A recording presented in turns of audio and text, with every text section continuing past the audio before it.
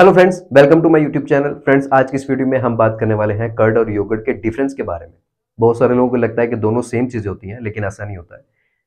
आज की इस वीडियो में हम इसके डिफरेंस के बारे में बात करने वाले हैं और ये हमारी हेल्थ के ऊपर क्या इफ़ेक्ट करेगा, उसके ऊपर भी डिटेल में हम बात करने वाले हैं। तो वीडियो को लास्ट तक देखिएगा वीडियो को स्किप मत कीजिएगा। तो चले, बिना टाइम वेस्ट किए वीडियो को स्टार्ट करते हैं।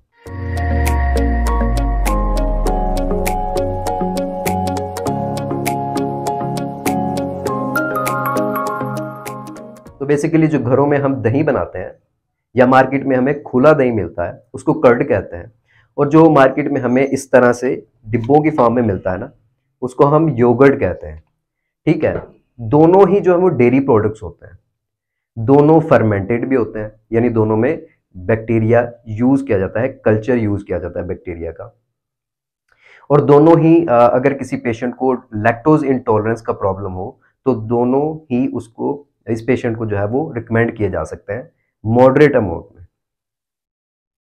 तो अब अगर इनके डिफरेंस की बात की जाए तो जो कर्ड होता है, उसके अंदर जो बैक्टीरिया का कल्चर यूज़ किया जाता है, उसके अंदर बहुत सारी स्ट्रेन्स होती हैं बैक्टीरिया की, ठीक है? उसमें कुछ स्पेसिफिक पाँच, सात या दस स्ट्रेन नहीं होती हैं, उसमें बहुत सारी स्ट्रेन्स होती हैं, बहुत सारी टाइप्स के बैक्टीरिया होते हैं। लेकिन ऑन द अदर हैंड जो हमारे पास डिब्बों के अंदर जो दही होता है योगर्ट जिसको कहते हैं उसमें फोर टू सिक्स स्ट्रेन होती हैं बैक्टीरिया की, यानी कि इसमें जस्ट चार से पाँच छः टाइप्स के जो है वो बैक्टीरिया यूज़ किया जाता है। यही रीज़न होती है कि जो मार्केट में हमें डिब्बों में दही मिलता है, उसका टेस्ट जो है वो इतना खट्टा नहीं हमें महसूस होता, जो घर पे हम जो कर्ड बनाते हैं, उसका जो टेस्ट है वो थोड़ा सा खट्टा होता है। तो अगर हम इसके हेल्थ बेनिफिट्स की बात करें तो जो कर्ड है वो ज़्यादा बेनिफिशियल होगा। क्योंकि उसमें बहुत सारे स्ट्रेन हैं बैक्टीरिया की। लेकिन जो योगर्ट में just four two six strain होते हैं बैक्टीरिया के, जिसकी वजह से हेल्थ बेनिफिट जो है वो कर्ड के ज़्यादा होते हैं।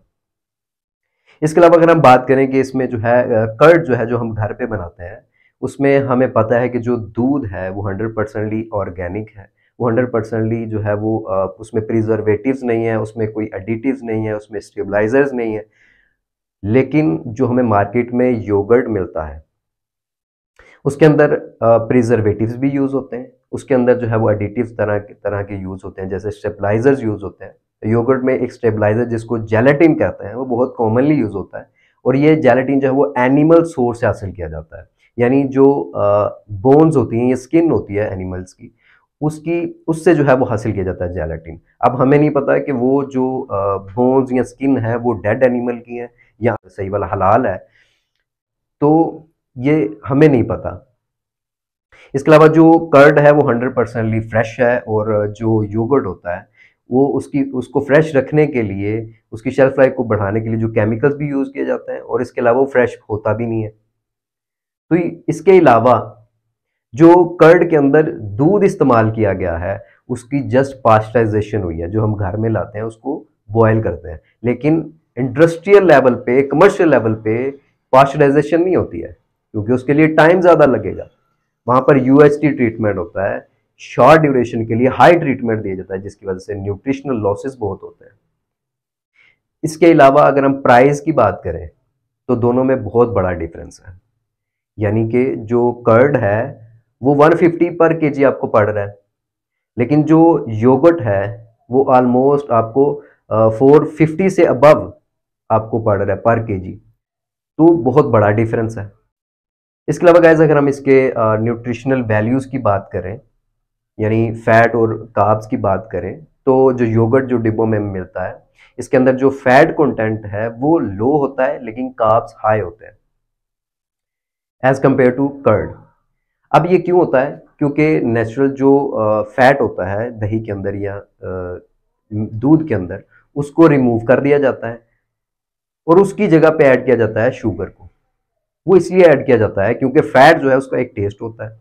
अब उस टेस्ट को बरकरार रखने के लिए प्रोडक्ट का टेस्ट बरकरार रहे, उसके अंदर शुगर ऐड कर दी जाती है, जो कि ज़्यादा हार्मफुल होती है। और हमें दिखाया जाता है कि ये आपकी हेल्थ के लिए अच्छा है क्योंकि इसमें फैट जो है वो लो है। लेकिन फैट से ज़्यादा डेंजरस जो चीज़ है वो है शुगर ये ज़्यादा डेंजरस होती है थ्री टाइम्स मोर डेंजरस होती है। ऐसा नहीं है कि अगर आप फैट खाओगे तो ही आपकी बॉडी में फैट बनेगा। अगर आप कार्ब्स भी खाते हो तो भी आपकी बॉडी में फैट में कन्वर्ट होते हैं। तो आई थिंक गाइज़ अगर आपके पास ऑप्शन मौजूद है कर्ड की तो आप कर्ड ही कंज्यूम करोगे। आप घर में दही बनाओ, वो ज़्यादा बेहतर है। एज कंपेयर टू उसके के जो डिब्बों में हमें मार्केट में अवेलेबल होता है। हमें नहीं पता उसमें मिल्क कौन सा यूज़ किया जा रहा है, उसमें जो यूएसटी ट्रीटमेंट भी लगाया गया है, उसमें कौन कौन से प्रिजर्वेटिव्स यूज़ किए गए हैं, वो फ्रेश है, नहीं है, हमें नहीं पता उसके बारे में। तो आज किस वीडियो का जो कंक्लूजन है वो यही है कि आपको कर्ड ही यूज़ करना चाहिए लेकिन इन केस के अगर आपके पास ऑप्शन नहीं है तो योगर्ट कंज्यूम कर सकते हो। सो so, ये थी गाइज़ आज की वीडियो होपफुली ये काफ़ी इन्फॉर्मेटिव रही होगी आपके लिए। अगर वीडियो अच्छी लगे तो लाइक ज़रूर कीजिएगा। मिलते हैं किसी और वीडियो में। अल्लाह हाफिज़।